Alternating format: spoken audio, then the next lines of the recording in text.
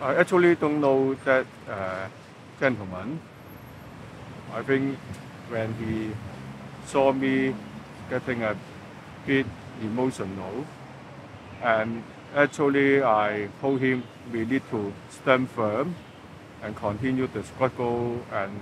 he also respond uh, Uh, saying that definitely